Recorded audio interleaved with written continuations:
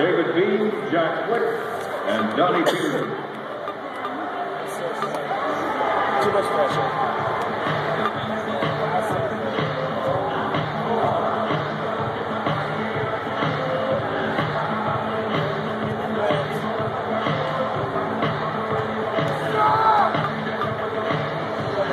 Oh!